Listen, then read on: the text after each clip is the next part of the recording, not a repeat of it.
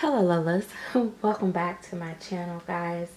I am doing lots of videos talking about my experience, my inner thoughts, my opinions, so bear with me. I may be all over the place, but some of you guys will be able to relate and some of you guys won't, and that's okay.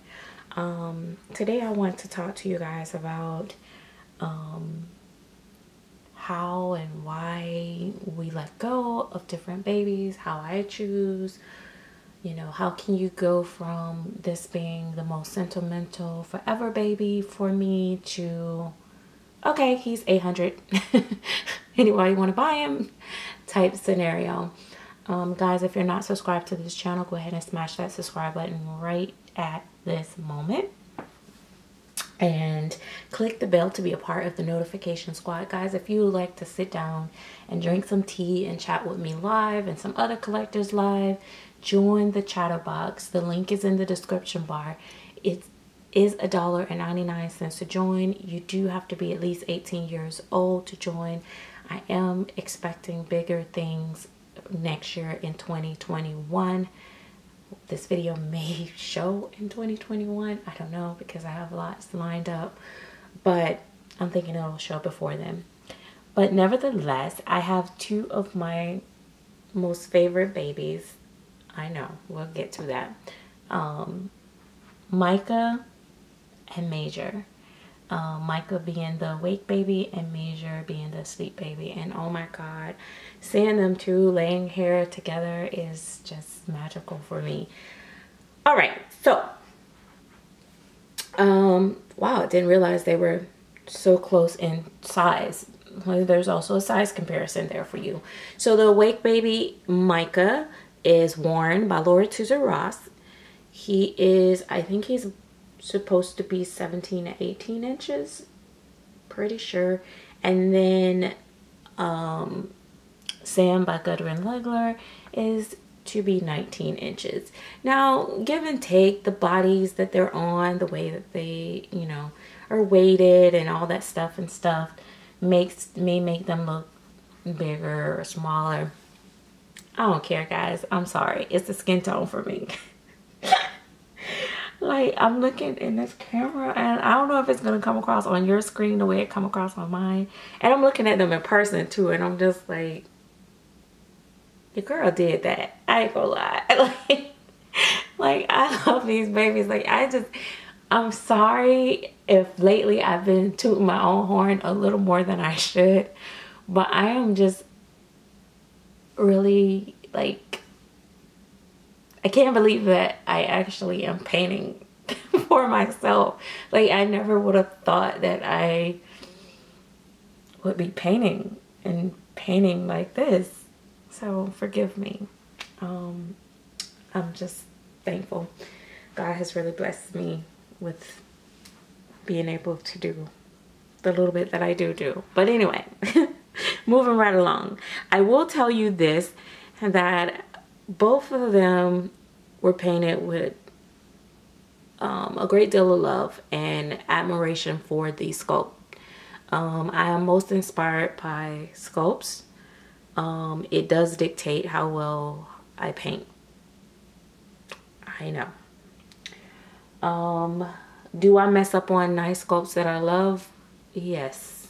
But do I tend to well at least to me feel like I paint the ones that I love better I think so.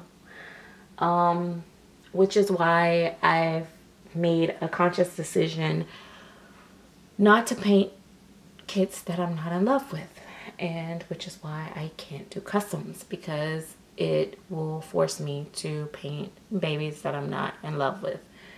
Um I am actually going through so many different phases in my journey of painting. Um, I think I've went through a lot of phases in collecting, but now in painting, I think I'm up and down an emotional roller coaster. That's why some days it's like, I'm going to do customs. I'm not going to do customs. Um, right now, I'm feeling I'm not going to do customs. Not only am I not going to do customs, I don't even know if I'm going to be painting to sell for a while after I finish my order. So I just don't know where I'm going. I'm just going to take it one day at a time. But to this video.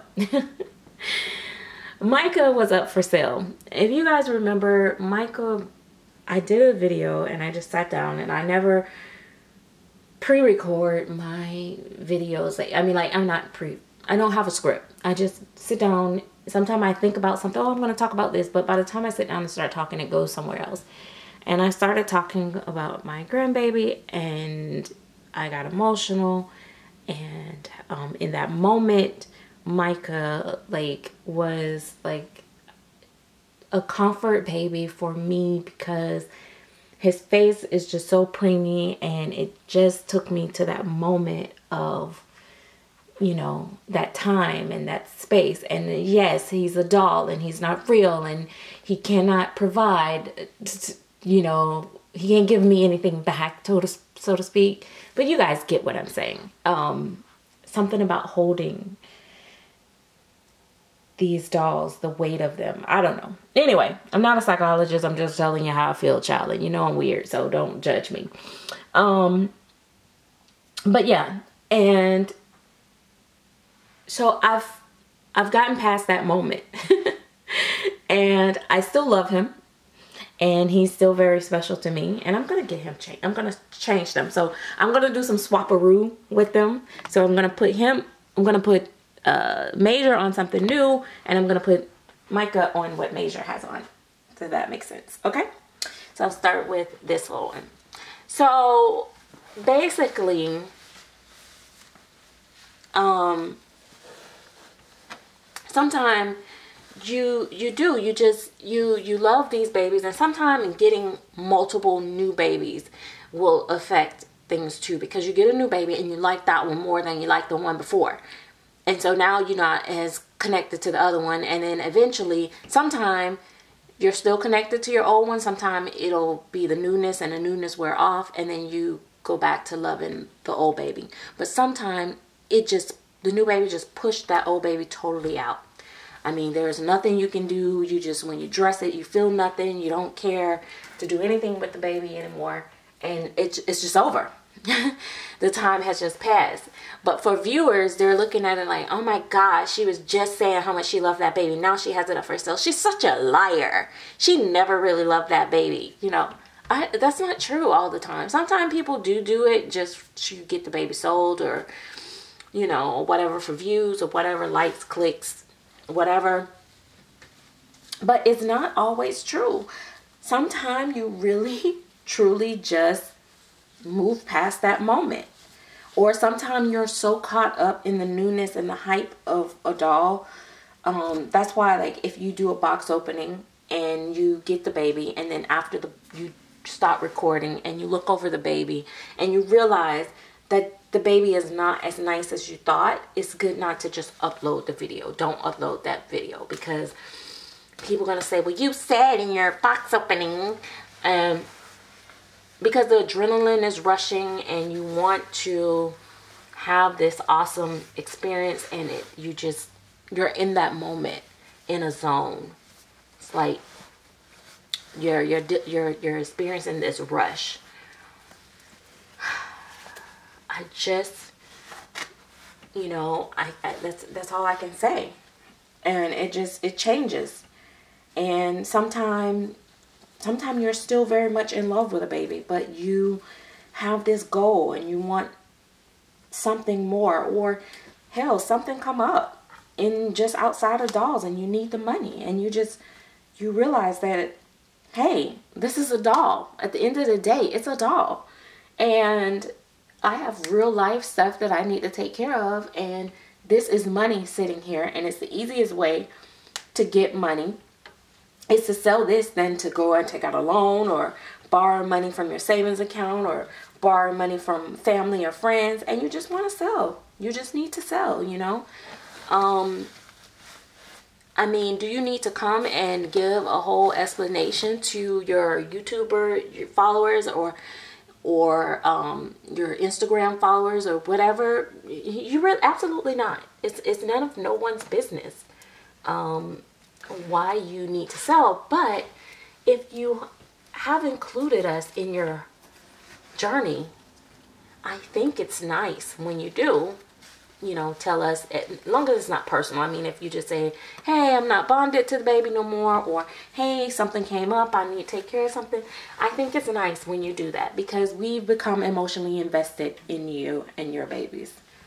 And I get that. Um, I've tried to get to a point where I, you know, don't say it's none of your business, you know, but I do say it still. Um, but yeah, um, it's just one of, you know, one of those things. So basically, um, I, I'm not ready. I'm not ready for Micah to leave. So he's, he won't be up for sale. Um, I will tell you, um, Micah is hyper detailed. Um, well, I ain't gonna say hyper hyper. It's just standard. He's he has a quite a bit of veining. He has mottling. Um, his his toenails and nail fingernails are more detailed actually than this one because I decided I wanted to leave his clear. Like I didn't want the whole, you know, tips and all that and stuff because uh, for me sometimes all babies just don't have it and I just I just didn't want to do it and um so I know that that's the hype for everybody else. Now, if I decide to sell him, I'll probably go back in and add some color to his nails, his toes. I may actually still do it because, like I said, he's not weighted yet. So I may still add like a little bit of color to his uh, toenails and stuff and, and do that part. Because sometimes I can I do the nails at the end anyway. Um, but I, I was ready. Sometime when I'm painting, I'm just ready. I just want the baby. I was just, come on, let's go. Um, he has um, some, you know, a little bit of broken capillaries. He has very little veining, actually. Um, Major. Um, most of his stuff is in his coloring, and he is modeled. He's very, very modeled um, even down in his feet. Um, but mostly for me, it's his skin tone than anything. Where in Micah, he has the lightening of the hands and the feet. He has a, a, a prick. Um, they both have the milk bumps. Um, Micah's is a, a little bit different, less um, color to it. He does have baby acne a little bit right here on his cheek, which is very realistically done, in my opinion. Um, he does have the wide eyes. He has, you know, he has the gums too and the tongue. Um, I think I got his gum color a little bit better than his gum color, but his gum color is still nice. Um, they both have he has veining inside of his ears and they both have like the the detail inside the ears as well after something I've I told y'all I'm weird I've gotten into that um but I think his head is more modeled than his head um so they're they're both oddly similar um funny thing is they actually are about the same size. So Micah is supposed to be a preemie, but which I know. Um, and then I, I thought he was supposed to be newborn, but I guess they can both be small newborn or large preemie. I guess it all depends on what you're accustomed to calling um, preemie and not. But I know he can fit some preemie, and I'm sure um, Major can too. But I put him on mostly uh, Carter's. Um, or let me say Carter's. Newborn. But this is Carter's that I'm putting him on. Um, so Micah is already weighted. And he's weighted pretty heavy. Which is nice. Um, Major not weighted totally. But I can tell you this just by the little weight that he does have, I can tell when he gets weighted, he is definitely going to be one of my favorites to hold. Um, because I just love it. I love this size baby. You know, um, I miss this size baby in, in silicone as well because, you know, that's the great thing about vinyl versus silicone is that you have so many options with the vinyl as far as kits and sculpts and looks and positions of the limbs and all that stuff versus silicone is just so limited. And the thing about silicone is I guess because it's such a small market of people doing it they're very competitive. And if one person big sculptor do you know a big baby they all do a big baby and then it's like we don't have no little babies. Um, and then it, it it it it just you know the saga continues. Uh, so um, when they get into preemies, then it's all preemies and no big babies. It's like so limited. It's phases. You have to wait till they. So now I'm waiting for them to go through the newborn phase and the preemie phase again because it was the big babies were the thing, you know. Um, the bigger babies, and I, I just, um, I'm over it. I want newborn now. um, but yeah, he does have some veining. Um, and he has some, like I said, veining in his in his head and stuff. And he like he has the medical spots, and he has detail in his, you know, lots of detail in his face um, that may not show up on camera as much. So he is a detailed baby. Don't get me wrong on that. He's just, I just didn't put a lot of veins on him this time. And that's okay because um, veining is it's one of those things that I love when it's done right and I think it adds realism and so I can really appreciate a veiny baby but it's not a thing that I need. Um, I'm okay with a baby that don't have not one vein. I actually one of the the higher end babies that I bought from a very popular um, prototype artist um, is very beautiful, but it doesn't have not one vein.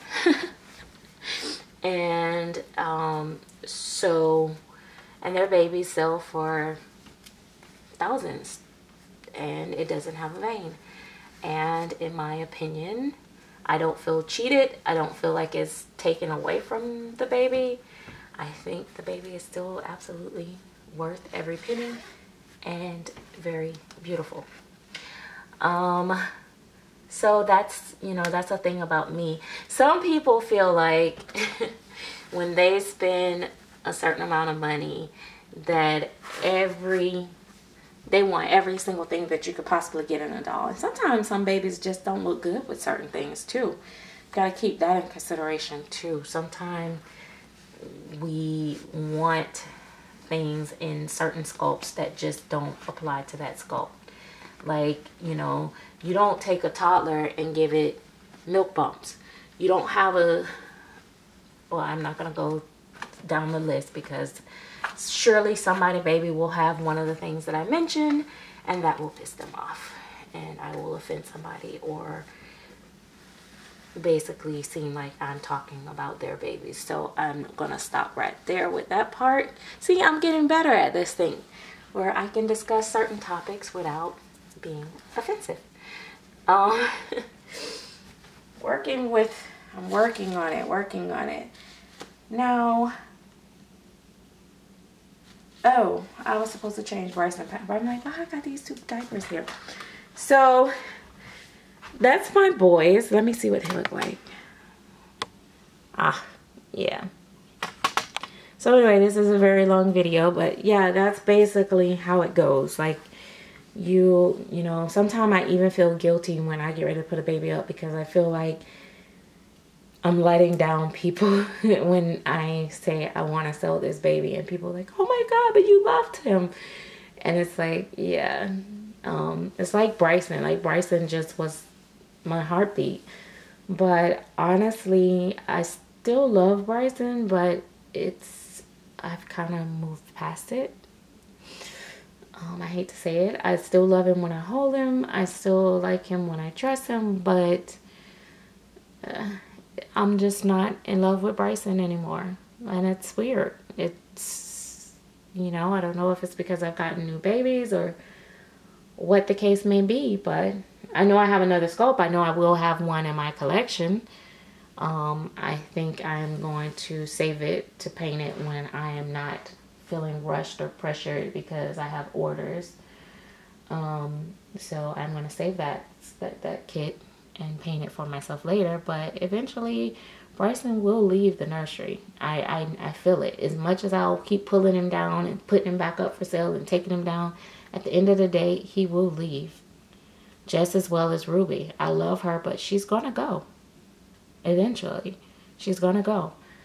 Um, some babies I just know are destined to stay forever in my collection and some I think are gonna stay forever and they don't and it's just you know it's just day by day so anyway guys just wanted to share that my thoughts with you guys on that and oh my gosh I gotta go I have to take this baby some pictures and I need to also um, get ready for my day and work you know, I wish I could stay home and just play with dolls all day, but that's just not the way the real world works, right? So I gotta do what I gotta do. Later.